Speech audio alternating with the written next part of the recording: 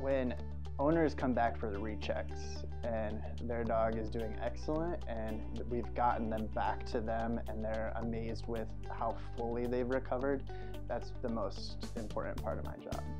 My name is Dr. Eric Herman and I'm a surgeon with Affiliated Veterinary Specialists in Gainesville, Florida.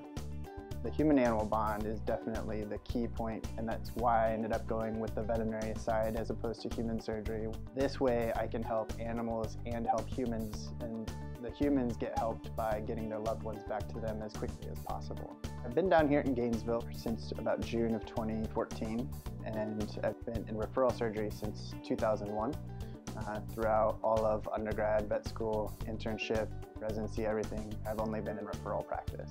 I went to undergrad and also veterinary school at Purdue University in Indiana, and then I took a year to go out to the Animal Medical Center in Manhattan and lived there for a year, and then went to residency in Columbus, Ohio at MedVet I did my residency at the same place as Dr. Aragon and McKenzie, and ever since I finished my residency, they spent most of their time trying to recruit me down here.